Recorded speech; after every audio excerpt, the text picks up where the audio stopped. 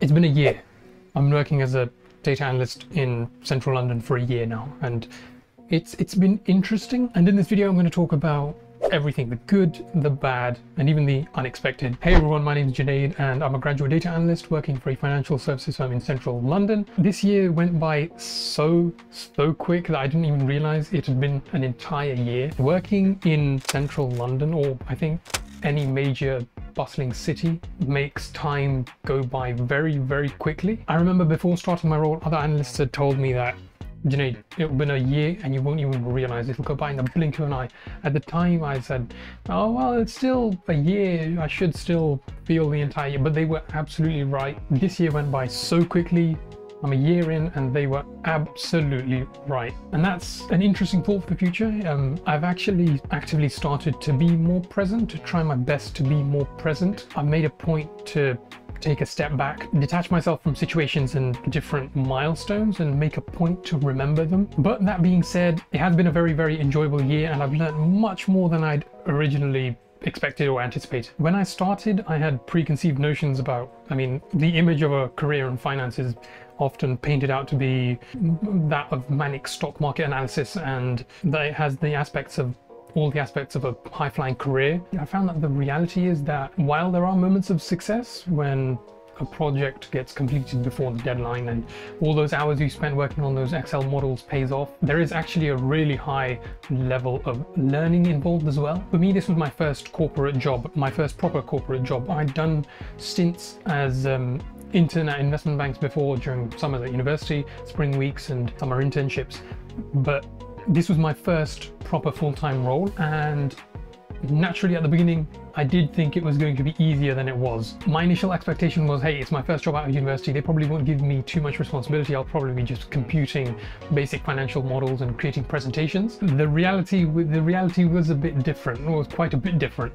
The analytics division that I joined within the company was quite new and it operated like its own little startup. So there was a lot of work right from the get-go, right from the beginning. There was a lot of work to be done. And that's the difference I've observed between working for a large investment bank and a slightly smaller financial services firm. In entry-level roles for a large company, I think there's less pressure on you to perform to a very high standard simply because the larger company can afford a lot of manpower so that if something does go wrong or if there's some slack in the rope of the project you're working on, they can just allot more manpower towards that project. There's usually someone there who's available to help you out if something, if you need help with something or if something's gone wrong. That ultimately means that it's unlikely that the outcome of a major project is reliant solely on you. In a smaller startup style environment, I think there's less people available to help or bail you out if something goes wrong or if you fall behind on a project. Most other people tend to be busy as well. And in my first year, in my experience, um,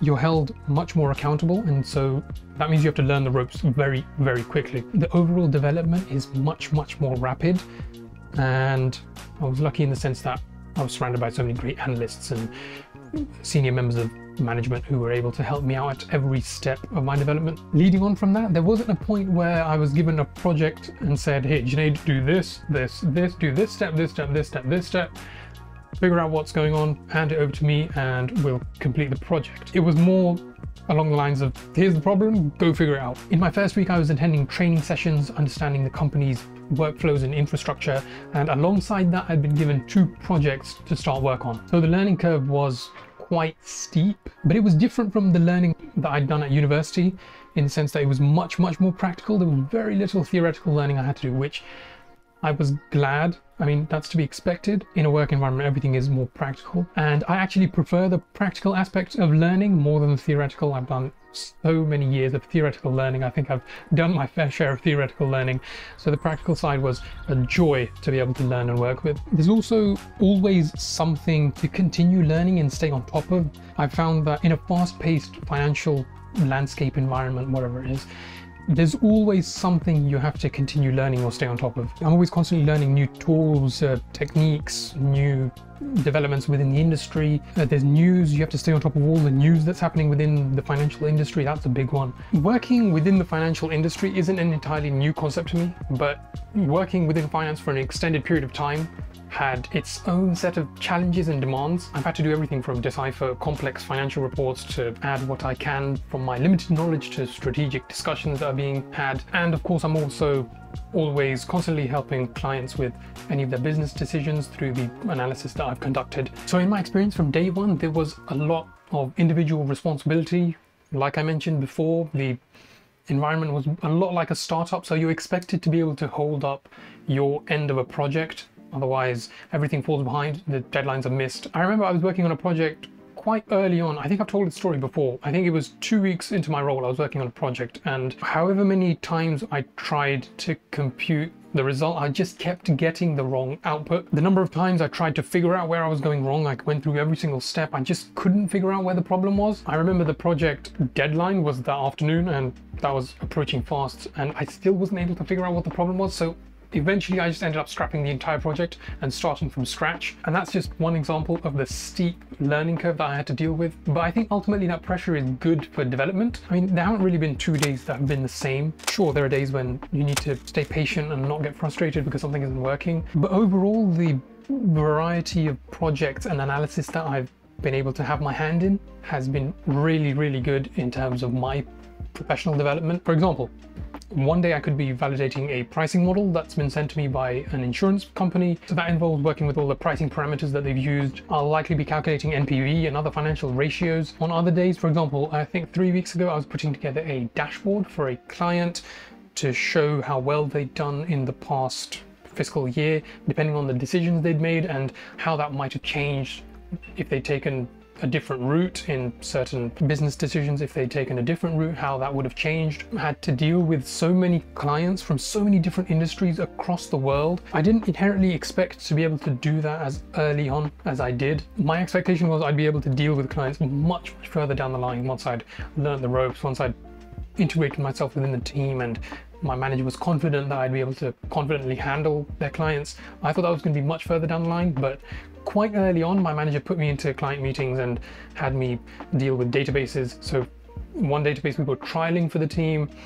I had to set up a string of meetings with that database to understand what they could offer us and how we could integrate them into our workflow and then report back to my manager. Each client is unique and and there have been some great stories about how people have navigated their careers over the years and got to where they are now. And that's also been very helpful in maintaining a high level of learning. Another really unexpected thing that's resulted as a part of my role that data practices within my personal life have improved tenfold. The way I store deal with and use the data that I have within my own setup has gotten so much better. And that's and that's as a direct result of working within a team that focuses so much on data. Ever since I started this YouTube channel, the number of media files I have to deal with, the video, images, audio, has just skyrocketed into multiple multiple terabytes of storage. I think if I was to take a single copy of all of my data,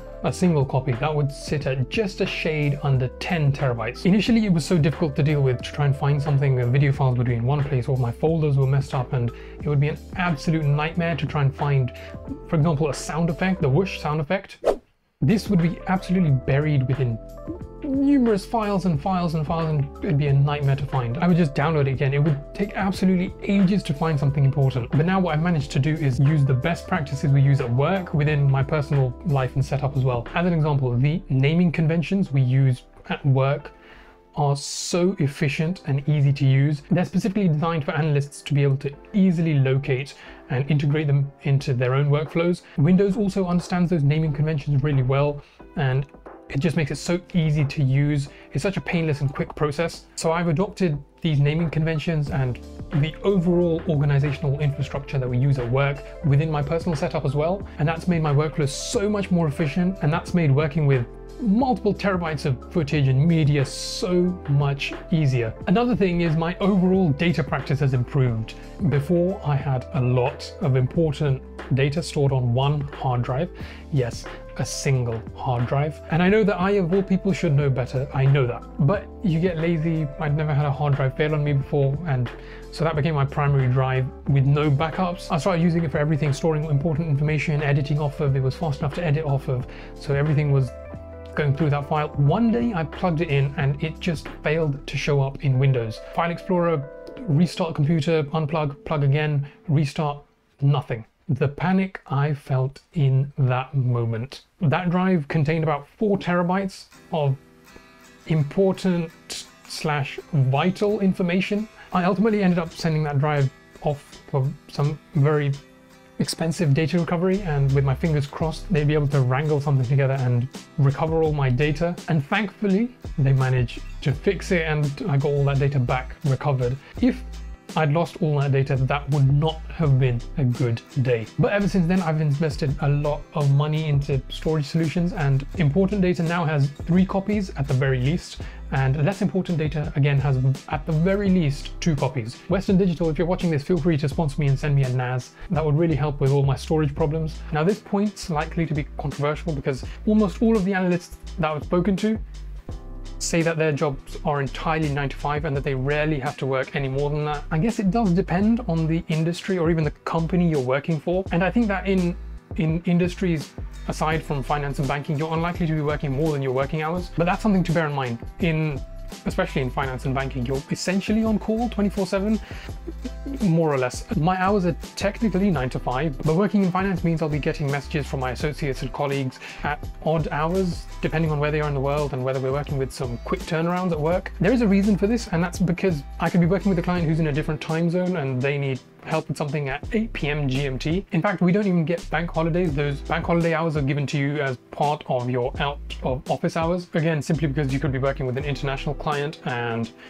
that means a deadline is approaching and that you're working on that bank holiday since not everyone observes the same bank holidays across the world. There are times when I've had to wake up early with the sole purpose of waiting for the stock markets to open or waiting for a company to release an annual report or AGM. I usually try and wake up early anyway, but not with the purpose of work. That'll usually be to work out or get some work done while everyone's asleep. Alternatively, sometimes I'll have to stay late during, especially during busy periods. There have been times when I've come home at 7, 8, 9 p.m. Now, this wasn't exactly a surprise. If you've done enough research beforehand, which I had done, then you know that this is part of the day-to-day routine. But again, overall, it's something that is negative. Your work does follow you home and especially at higher levels, there are times when the work-life balance lines are blurred. Again, I did sign up for all this, so I'm not complaining, just outlining the reality. Overall, if I could describe the last 12 months in one word, that word would it would probably be learning. I've learned a lot, and I think that's to be expected for any analysts that going into your first ever role, you'll be learning a lot. I mean, you can have really good technical knowledge of just about everything, but a firm or company has specific needs, specific workflows, specific strategic outcomes that they're working towards. So I think that learning never goes away, whether you hop from company to company or whether you're working with clients who have different needs. I mean, if two clients come to me and I'm putting together a dashboard for both, you might think that since you're doing the same, those two things are the same. But the reality is that clients have different strategic outcomes that they're aiming for as well. So you'll have to adapt and understand what they're looking for. So there's so much variety that I've been able to learn about within the world of finance, banking, and being an analyst. And that's helped my development a lot. There are still things I want to improve on. I'm always looking to progress as fast as possible, but it has only been a year, so I do need to show some patience. I hate being stuck at one level for an extended period of time, but I have to be patient. There will be opportunities for progression. So that's something I'm really, really looking forward to. Within the team, there's a running joke that I'm going to be the next CEO of the company. And every internal email I send is signed off as Junaid Ahmed, CEO. Now, admittedly, that is quite tongue in cheek, but a little bit of ambition never hurt anyone. All right, that's it for this video. I hope you liked it. This was much more a sort of sit down and talk to the camera type of video. I hope it gave you an insight into what it's been like working in London as an analyst for the past year. And we've managed to cover some of the positive, the negative, and even the unexpected points and aspects in this video. So that's good. I'll be making another video along the same lines as this one. I think that's the plan to try and help anyone who's trying to become an analyst, anyone who's interested in the career anyone who's an aspiring analyst, if you're an aspiring analyst. So make sure to keep an eye out for that video as well. Hit the subscribe button down below if you haven't already. If this video is useful, leave a like and check out some of my other videos. Follow my Instagram if you haven't already. And all right, everyone, have a great week, everyone, and I will see you guys in the next one.